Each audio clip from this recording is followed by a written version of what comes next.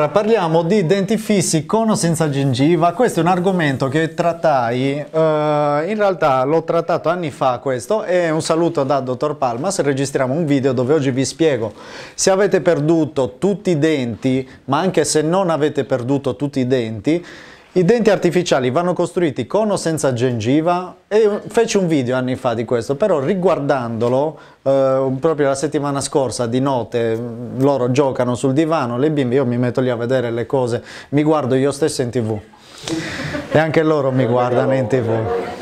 No, perché poi rivedendoli ti rendi conto se una cosa hai detto una castroneria oppure se era chiaro. E mi sono reso conto che in realtà non era così chiaro quel video. Dovrebbe essere trattato meglio, più approfonditamente, perché ci sono delle eccezioni di cui non ho mai parlato e che possono delle volte trarre eh, in tranello il paziente stesso, non solo il dentista, eh, perché partiamo dal presupposto anche che chi fa i denti eh, deve fare dei ragionamenti che delle volte non sono semplici da fare queste ragioni, devi prendere in considerazione diverse cose come vedremo.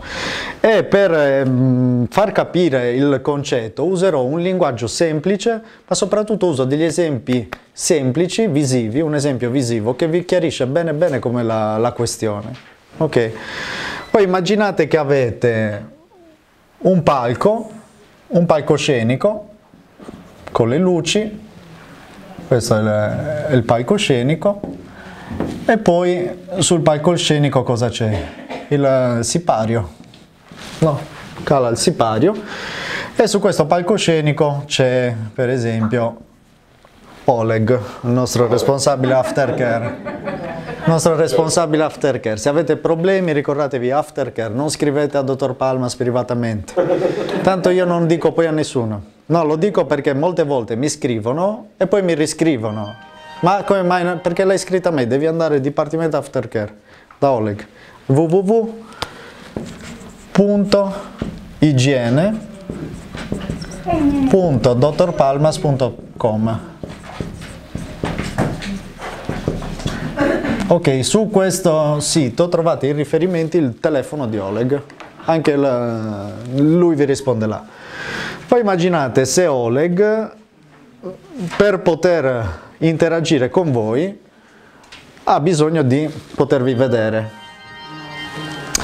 Oleg sta sopra un palco, quindi gli elementi che possono eh, interferire col fatto che voi vediate o meno Oleg sono intanto il palco dove lui si trova, ok? Lui si potrebbe anche trovare sul palco sopra a un altro palco, per esempio, sarebbe un po' più in alto, oppure potrebbe esserci il sipario che si trova a un'altezza differente. Nel nostro esempio, Oleg è il nostro sorriso. Quando noi eh, dobbiamo mostrare a chi ci guarda il nostro sorriso, abbiamo che i denti sono eh, sostenuti eh, da degli impianti che stanno nell'osso. In più sopra, eh, o meglio davanti ai denti, ci sono delle labbra che possono mostrare o meno i denti. Questa è la prima, prima cosa che bisogna chiarire, ovvero che i denti eh, non devono stare dove si trovano gli impianti dentali, cioè gli impianti dentali sono delle simulazioni di radici, se vogliamo dirla in maniera semplice, delle viti. Le viti non c'entrano nulla con le radici dei denti anzi sono fatte di materiali differenti e stanno in posizioni completamente diverse da dove stanno le radici dei denti. Infatti se io schematizzo per esempio come, eh, come sono i denti naturali mantenuti nell'osso, i denti naturali hanno una radice dal quale poi, eh, al quale poi tutto attorno ci sta attaccato l'osso, questo è tutto osso. Quando noi perdiamo il dente, non perdiamo solo il dente, ma perdiamo anche tutta la radice, andiamo a estrarre. Qua si deposita che cosa? Sangue, si crea un coagulo, come quando ti tagli il braccio, si crea un coagulo. Qua queste parti di ossa a un certo punto vanno in necrosi, quello che succede è che l'osso a un certo punto, che si riforma a partire dal sangue, ha una forma differente da come era prima l'osso che manteneva il dente. Quando io metto un impianto dentale, l'impianto dentale non lo metto qua, dove c'era la radice mantenuta dall'osso, ma lo devo mettere dove è rimasto l'osso. Quindi gli impianti dentali, in realtà, questo qua sarà in questa posizione l'impianto dentale. Quello che io vado a mettere è questo rosso e non questo blu. Cosa significa? Che qua se io uh, non simula la gengiva, avrò che il dente sarà poi così lungo. Prima il dente era invece lungo così. È chiaro questo? Cioè il problema del dentone lungo in un paziente che ha perduto i, i denti c'è sempre. C'è un caso specifico in cui non va simulata la gengiva, cioè se io qui non simulo la gengiva, ok, e quindi l'osso che ho perduto, che ha sopra la gengiva, commetto un errore, perché ho poi un dente molto lungo. Io ho i classici dentoni lunghi così, abbiamo messo una foto da poco sul gruppo dei pazienti dove c'erano i dentoni lunghi così, ed era proprio per parlare eh, a una mm, persona che aveva scritto ma le gengive ci vanno, io li voglio senza gengive. Eh, guarda, nel, io potrei dire nel 95% dei casi la gengiva va sempre ricostruita perché un paziente che ha sofferto di piorrea oppure ha avuto incidenti stradali, quindi è andato in chirurgia maxillofacciale, oppure gli hanno già messo impianti, dobbiamo togliere anche gli impianti, quindi perdiamo ancora più osso, arriviamo addirittura agli impianti zigomatici e ancora di più il volume di gengiva che devo simulare. C'è solamente un caso in cui vi dicevo la gengiva non va eh, simulata ed è il caso in cui, o meglio sono due i casi, il caso in cui o il paziente quando sorride il sipario va molto in alto e ci sono questi pazienti che i denti stanno nella posizione giusta, l'osso sta nella posizione giusta, ma quando sorride ha il labbro che va veramente tanto in su, si chiama quello labbro eh, iper, um, non mi viene il nome, è un iper, parlo troppo rumeno, Ipermobile, eh, ipermobilità labiale. Ok, il labbro che va molto sopra. L'unica, la soluzione corretta in quel caso è fare che cosa? La tossina botulinica. Paralizzare il labbro, non paralizzarlo, riportarlo a un valore normale di esposizione. Quei casi si risolvono in quel modo. Ok? Quindi prima di decidere se mettere o no la gengiva io devo guardare il paziente e capire se la gengiva che lui mostra è una gengiva che è in eccesso oppure se è semplicemente il labbro che va troppo in alto, quindi il sipario che va molto in alto. Questo la, mi fa decidere se fare o tossina botulinica oppure andare a tagliare osso. E in quel caso, se, dovesse, se il labbro è normale paziente sorride e mostra la gengiva, significa che il paziente ha un viso lungo, un long face, dove c'è un difetto di crescita della mascella, dove la mascella è venuta troppo in basso. Vi sarà capitato di vedere magari delle ragazze o dei ragazzi che sorridono e hanno i denti qua giù, proprio la mascella che è cresciuta in basso. Se quel paziente viene alla piorrea e perde i denti e quindi perde anche osso, ok, torna in pari in realtà. E i denti vanno messi là senza però ricostruire la gengiva, perché la parodontite gli ha fatto, eh, un, gli ha fatto la chirurgia plastica, praticamente. L'ha riportata in... E non è frequente questo, è una rarità che si ha il sorriso, non è proprio poco frequente, cioè ne vedo molti sorrisi gengivali. E in quel caso, se eh, io ho un paziente che mostra la gengiva, questo io lo devo vedere prima di eseguire la chirurgia. Ok, poi il problema non è tanto se devo simulare o meno la gengiva. Il punto è, sapendo dove devo mettere i denti, dove poi vado a mettere gli impianti. Perché se ho molto osso, allora a quel punto vado anche a tagliare osso di modo da nascondere gli impianti sotto al sipario.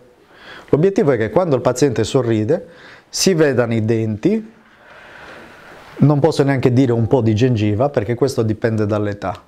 Un altro fattore da considerare è che i sipari, le labbra, soprattutto il labbro superiore, eh, non ha la stessa lunghezza su tutte le persone. Ok? Ci sono persone che hanno la pelle tonica e persone che hanno la pelle cadente. Dipende dallo spessore della pelle, dalla tonicità, dall'età, dal tipo di collagene che una persona ha. Ci sono, eh, ma in generale ci sono delle persone che hanno labbra più carnose, labbra sottili, labbra assottigliato. Allora in quel caso anche devi capire se è un labbro sottile o se è un labbro corto, perché cambiano poi i tipi di trattamento. Se è un labbro sottile devo fare il filler. Se è un labbro invece corto posso anche addirittura arrivare a mettere due punti di sutura, si fa una piccola chirurgia dove il labbro praticamente lo cuci qualche millimetro più in giù. Questo si fa per esempio sul labbro eh, ipermobile. Delle volte si fa o la tossina botulinica oppure proprio si cuce. Sì, sì, si fa. È un intervento molto semplice. È molto semplice sorrido un po' di più si mostra tutta gente. Perché... Poi la gengiva eh, non è una cosa brutta da vedere, la gengiva anzi la verità è bella da vedere, è quello che dà poi la salute la naturalezza alla vista del sorriso. Infatti il parametro eh, d'eccellenza proprio del sorriso bello dove eh, cambia a dire il vero, se tu vai in Nord America non si deve vedere la gengiva, se tu vai in Europa se ne deve vedere un pelino, se vai in Sud America, in Brasile, c'è il sorriso gengivale di almeno 3-4 mm. Ok. È alto, tanto il mio. Dipende dalla situazione di partenza. Ok, ricordatevi che questa valutazione, vi ho detto, va fatta prima. Perché se io ho un sorriso, un, una mascella, un osso che è molto lungo, vado a fratturarlo ma anche a accorciarlo. Se invece ho un osso della giusta lunghezza, ok, vado a fratturarlo ma rimetto le viti della stessa lunghezza, poi è il femore dopo.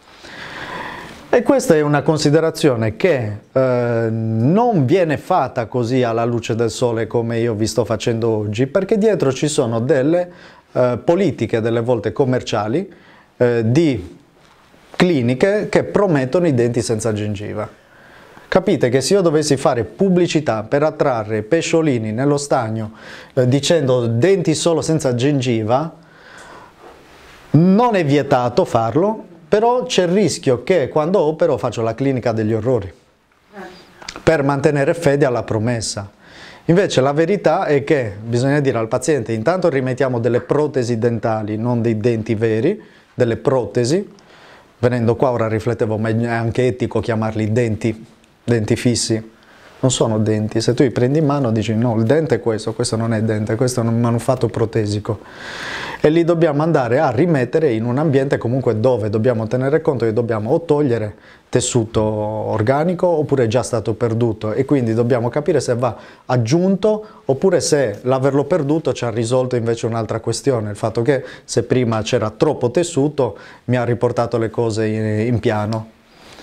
A dirla tutta questa è una cosa che interessa anche a noi, perché ehm, non, cioè, al paziente interessa dal punto di vista estetico, a noi invece interessa dal punto di vista meccanico, cioè di quello che noi dobbiamo costruire nella bocca del paziente sugli impianti dentali.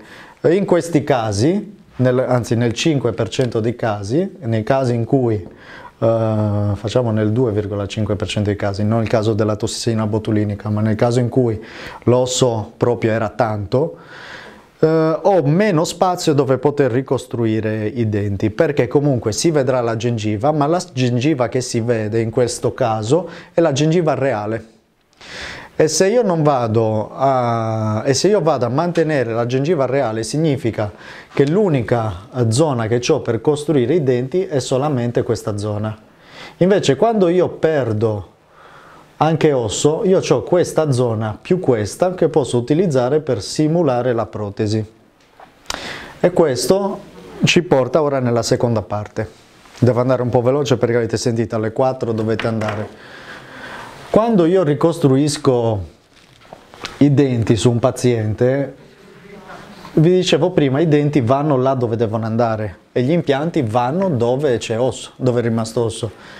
Nel, nella quasi totalità eh, dei pazienti dove va l'impianto, quindi dove uscirà l'aggancio dell'impianto, non coincide con dove deve andare il dente e dove c'è l'aggancio poi del dente.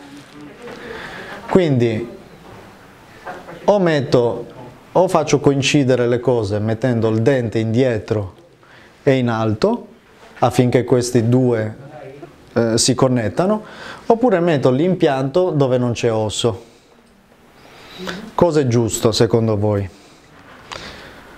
Mettere i denti indietro e in alto fino ad arrivare agli impianti oppure li posso anche storcere, cioè posso metterli anche inclinati i denti, però poi avete le palette, le zappe in avanti così avete, perché vanno verso l'impianto che l'impianto è dietro. L'impianto va sempre dove c'è l'osso. No, dove non c'è l'osso. Eh, ma poi ti esce fuori dalla gengiva la vite. Tocchi con la lingua la vite poi, è uscita fuori. Collegamento tra i due. Bravissima, lei ha visto già le lezioni avanzate.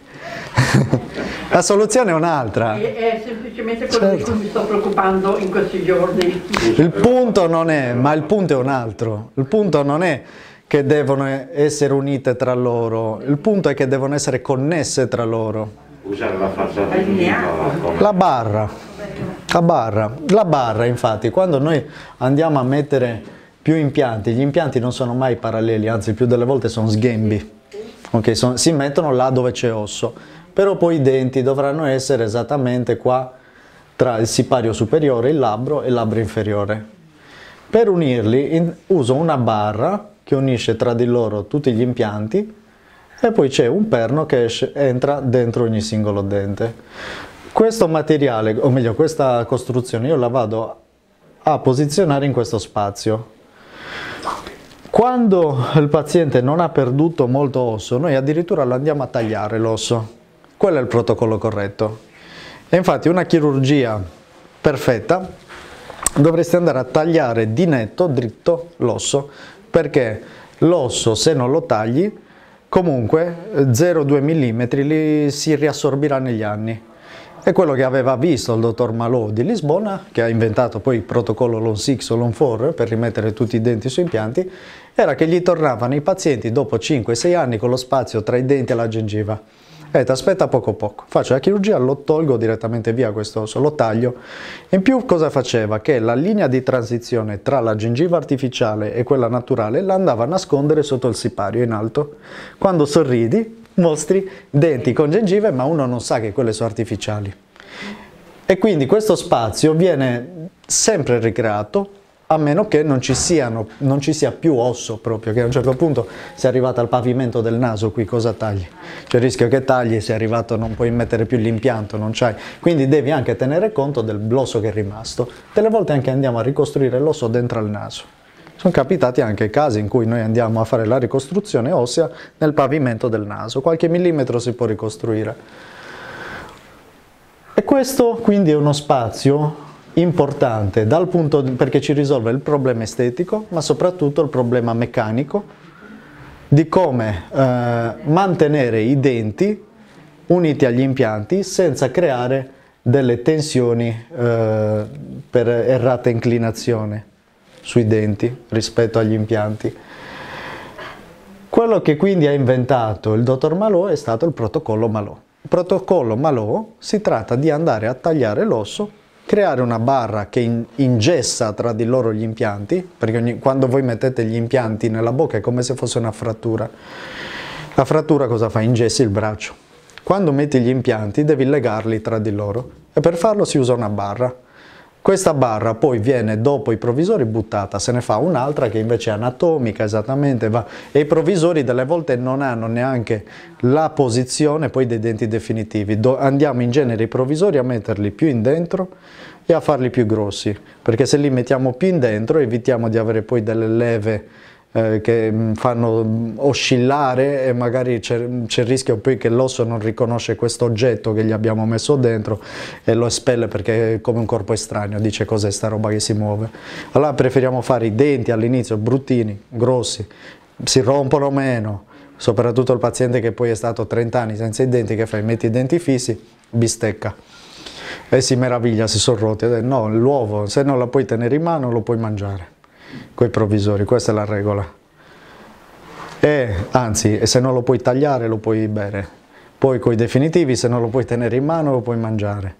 Ok, sono protesi, sono delle simulazioni. Me, sempre usare il coltello per, per tagliare e masticare dietro, mai strappare o tagliare davanti con queste simulazioni di denti.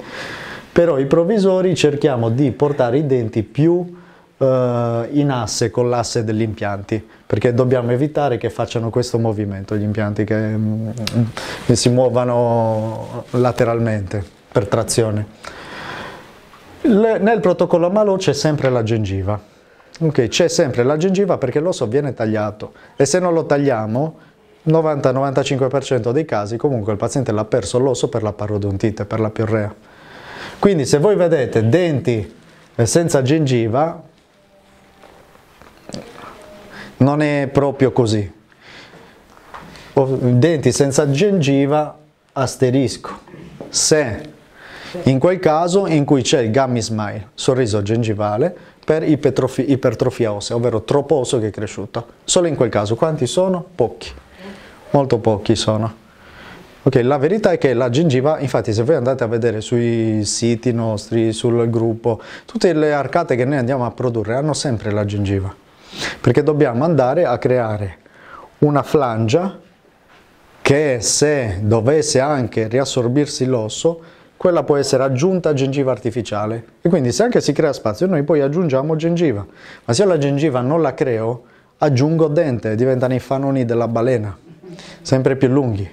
Ok, questo è piccola, uh, è un piccolo dettaglio che ora se vi riguardate quella foto nel gruppo avete la conoscenza per capire perché quei denti erano lunghi. Ok, se voi andate sul gruppo, io ora non ce l'ho qua, um, se, um, un paziente, se un paziente la finisce così, Uh, ci possono essere due motivi, o gli hanno promesso i denti senza la gengiva e dovevano tenere fede, oppure gli hanno messo i denti eh, incollati, cementati e quello è un altro caso in cui non mettono le arcate avvitate, le mettono incollate, fanno uscire praticamente dagli impianti dei perni ehm, sui quali poi vengono incollate le protesi. Il problema è che questi perni ehm, vanno in una direzione eh, che non permette di andare a mettere i denti là dove devono andare e quindi ti ritrovi i denti che sono più lunghi, che vanno a intercettare gli impianti e anche storti. Però, Però il paziente che decide così... No? Il paziente non lo sa questo, il paziente magari si guarda anche allo specchio e si piace, non ha le conoscenze per... Ah, uh, ha fatto imposti... Sì.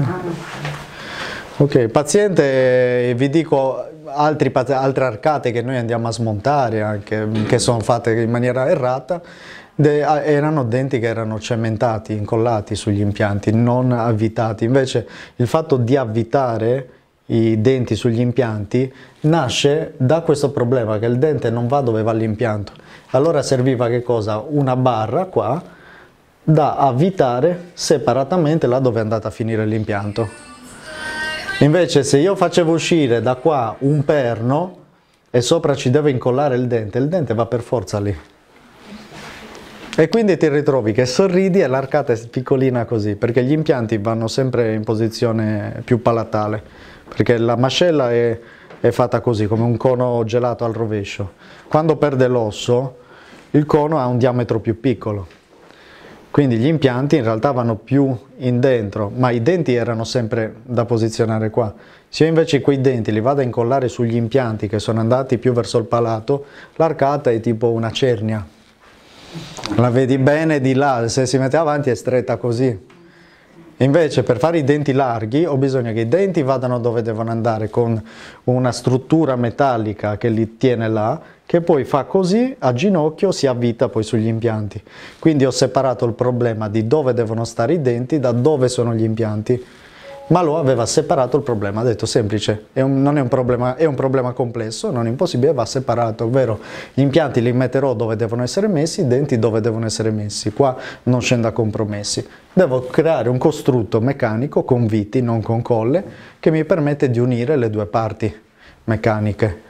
E da lì è nata la, la tecnica appunto dell'Holoforo Long 6 che era una tecnica per rimettere le dentiere fisse a persone poco abbienti eh, del Portogallo, era stato inventato là più ormai di 25-26 anni fa, dove prendeva le dentiere, metteva quattro impianti, quanto, quanto un tavolo, no? i piedi minimi per stare in piedi, e lì avvitava le, i, le, protesi sopra questi quattro impianti.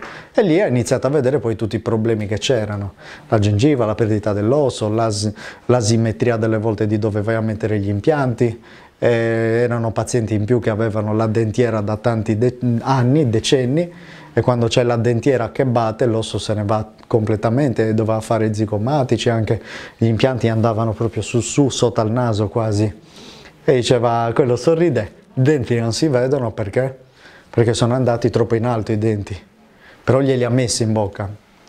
In quel caso è possibile che, ripeto, l'anziano oppure anche l'adulto che ha il labbro molto lungo, sono stati fatti delle misurazioni poi sulle labbra, Pascal Magno, un famoso odontoiatra estetico svizzero trasferitosi in California, lui è andato a misurare tutte le lunghezze delle labbra e ha visto che più o meno un labbro e quando è mm, come dire, un labbro, ci sono diverse tipi di lunghezze, quando è in posizione di riposo sono 27 mm di lunghezza, quando invece sorridi arriva fino a 17-19 mm. Ci sono labbra anche che si accorciano ancora di più, allora lì mostri la gengiva. Oppure ci sono labbra dell'anziano che arriva anche a 34 mm. Però i denti non glieli puoi mettere qui giù, perché lui c'è il labbro che scende giù. Crei lì un altro problema poi di funzione alla persona. Delle volte, non sempre, può, può, essere che i denti, pur che sorridi, pur che sono messi giusti, non si vedono. Che tagli? Il labbro. Ma queste cose le sa solo lei o lo sanno tutti i dentisti che hanno studiato quando vuoi? Eh, guarda, più ne fai, più ne fai e più ti fissano, ti si fissano. I libri ci sono, li hanno codificate le cose, le hanno già viste 26 anni fa, ti ho detto. Queste cose le sa o, o solamente il Palma se più avanti col... Chi non le studia non le sa, a prescindere che sia laureato o no, o meno. Ci sono persone che non sono laureati, odontotecnici che le sanno queste cose. Cioè lei non lo farebbe mai un lavoro contrario, eh, perché loro lo fanno? Perché l'hanno, eh, delle volte inesperienza, delle volte non conoscenza